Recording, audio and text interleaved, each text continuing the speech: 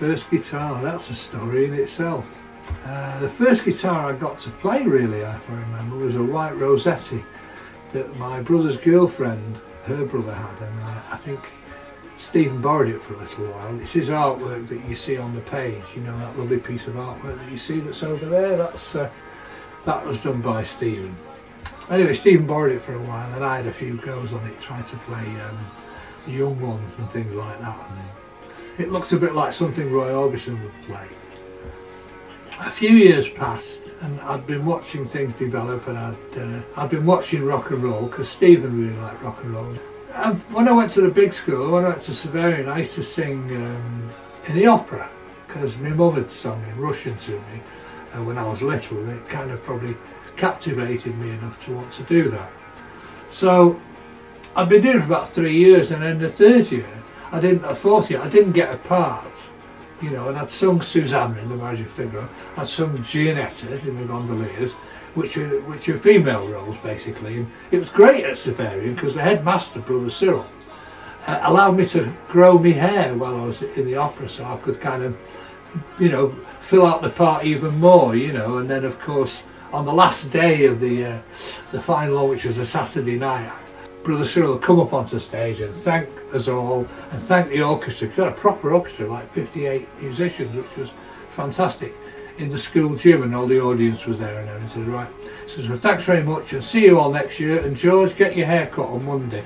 So that was how it used to finish, but I had that as a bit of license.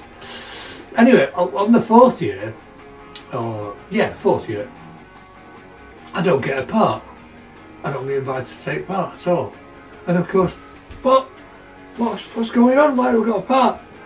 And I just, I think I'd seen Beatles on, on the television. I said to my dad, can I have a guitar? I'd like a guitar. And he was really monosyllabic, my dad, you know, working really hard, 197 hours a week. I mean, I know I'm exaggerating, but he seemed to be working every single minute. And I, I remember he always used to have soup first before he ate his tea. And that's because he was in a, a pogrom, he was in Siberia taken by the Russians in the Second World War. And they used to get gruel, so we always used to have soup. And I said, look, Dad, I'd really like guitar. You know, I'd really like guitar. And he looked up from his seat and said, yes, okay. And I was really shocked because it was like generally blood out of the stone with Dad. He was monosyllabic. What I realised was, of course, while I was growing up, in our front room there were two gas fittings for the old gas bulbs that they used to have in the, you know, in the 20s. And hanging on one of those was a mandolin. And Dad had picked that mandolin up in Naples and carried it while he was in the 8th Army up through Italy and Monte Cassino and all these things that he must have witnessed. And every now and again when he wasn't working on a Sunday, he would go into the front room and he'd get the mandolin down, he'd tune it up and just play for a few minutes and hang it up again.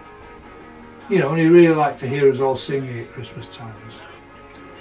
Anyway, he came home from work on the Saturday, went upstairs, got changed, that was his working clothes, came down in his suit and a hat and off we went on the bus to Manchester to Oxford Road where all the music shops were and on those there was Barrett's and Reno's and uh, oh what's the other one called? Mameloks and for the next three and a half four hours my dad tried every single acoustic guitar in all the shops. I mean when I say every one I mean in those days they didn't have hundreds of guitars in the shops like they are now. But he tried all these acoustic guitars listened to them very carefully and I was like you know. Because I've got my mindset on a 0321, a Japanese electric guitar, because of course all the bands were playing electric guitars. I didn't see anybody on acoustic, so, you know, so we were walking along, we go off to Mameloks, do the 35 guitars there, over to Reno's, do 45 guitars there. I'm stood in the corner really, you know, dad's, Anyway, about 20 past five at Mameloks, he bought an Eko acoustic guitar. A lovely thing. So they put it in the case, my dad paid the money over and we walked back up Oxford Road to where you used to get the bus to Stretford and it used to be like there used to be a cinema on the corner there, uh, the Oxford. So I waited on the bus stop with of course Johnny Glum. So we drove home, walked around the corner from Source in Stretford, walked onto Cecil Road, walked in the house, put the guitar in the corner, went and watched the telly. About two weeks later my brother said to me, Stephen said, why aren't you playing the guitar? I said, because my dad bought me an acoustic and I wanted an electric like the Beatles have got and The Who and all these people that I really have been watching on Ready Steady Go. Stephen was quiet for a minute and uh, said, uh, how much was the guitar, George? So I said, uh, eight pounds ten shillings. He said, do you know how much your dad earns every week? I said, no. He says, ten pounds, ten shillings a week. He's got enough faith in the, that you might possibly play the guitar to spend 80% of his own earnings. He's paying five pounds a month for a mortgage and he's prepared to spend eight pounds ten shillings on a guitar for you. A moment in time. From that day on I got the guitar and I've played it ever since. And I had that guitar for about two years till I was about 16. I used to take it down to Stoke-on-Trent when I used to go and see my godmother and her son who with whom I was friends. We go to the park, Trentham Gardens, and there'd be a few girls playing tennis, so I'd get the guitar out, thinking I was like very cool. I wasn't. I could play Catch the Wind or something like that. One day we were in the garage that was by Kenny's house, and that's where we all the young people used to meet. Kenny had some friends, there's Peepsy and uh, Colin Carter, who were later would sing in a couple of bands with.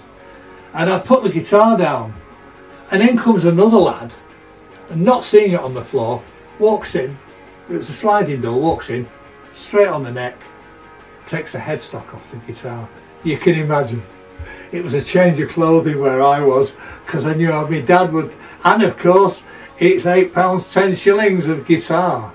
I don't know how we got around to. it. I think the band we all clubbed together, and uh, I ended up with a Futurama 2. Now, if any of you know what that guitar is, it's um, a lovely mauve, almost purple colour with cream finger plate. I'm not really a guitar collector. I'm not really one of those people who can tell you what the weight the strings are, whether it's got this kind of nut or... I just played the thing.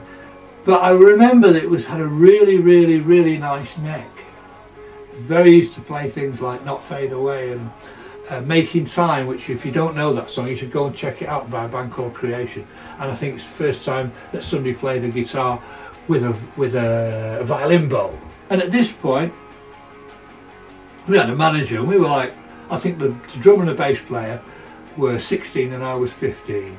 We used to play at Rowntrees and Rowntrees, there was a circuit of four places. There was top of the town, Rowntrees Sound, Spring Gardens and uh, can't remember the fourth one. So perhaps if somebody knows you can send me a message saying what the fourth place was. I've got off a tangent there again. So I'm playing this for a while and for some reason I'd seen this Burns Tri-Sonic somewhere. And I think we traded in the Futurama for a Burns Tri-Sonic.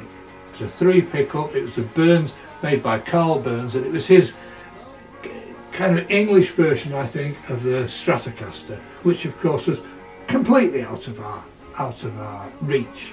But I'd had managed to save up enough money to get terms to buy an AC30 so together with that Burns Tri-Sonic, I was starting to write songs, so I'd write things like Linda's Just a Statue and Heart for Hire and a few, but the, the band didn't really want to play, they wanted to play Purple Haze and uh, Give Me Some Loving and all these things. So I was getting really frustrated and at one point they both left and joined another band without telling me.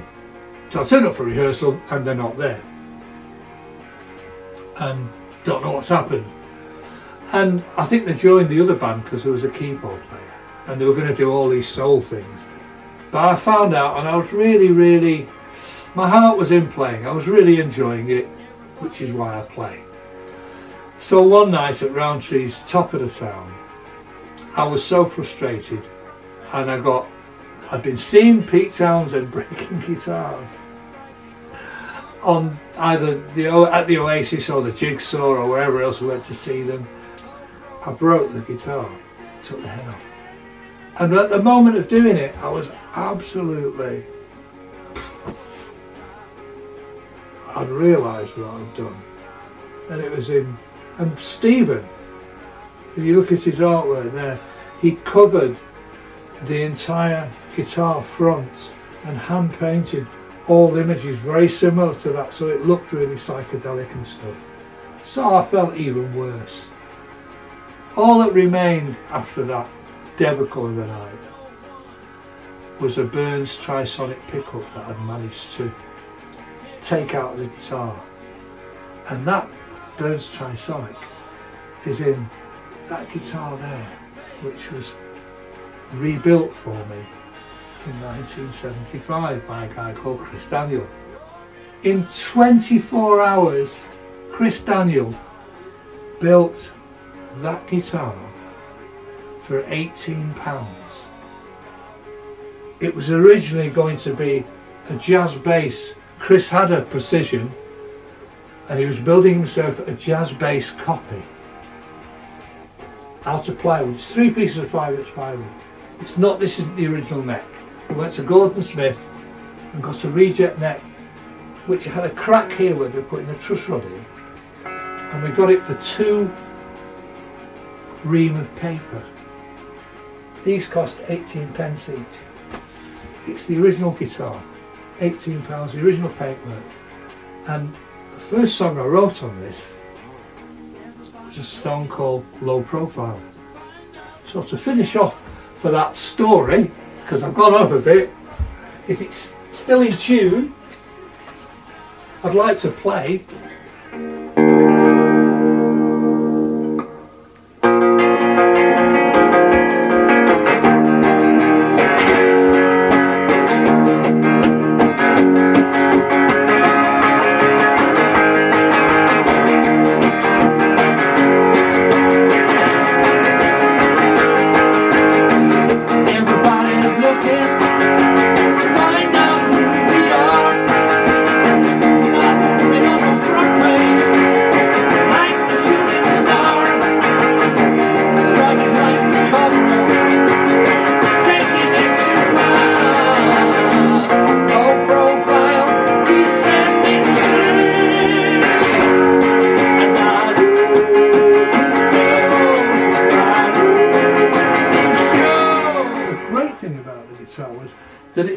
have a natural kind of reverb even when it wasn't plugged in.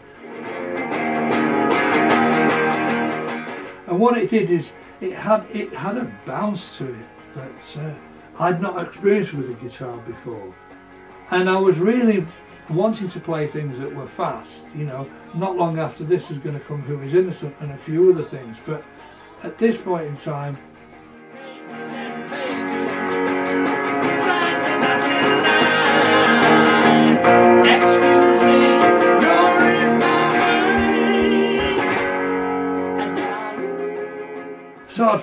the keystone to this song was a, a, line called Low Profile Descending Stairs.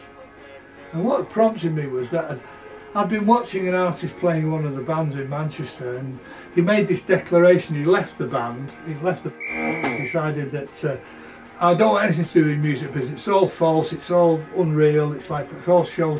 I think it's not what we're supposed to be about doing all this kind of music and then like two or three weeks later he's on the front page of every music paper in his new band. I was just kind of interested that people could just make stuff up to launch their own careers and that was not what I kind of thought was a, the way of doing it. But fair play to them. Looking.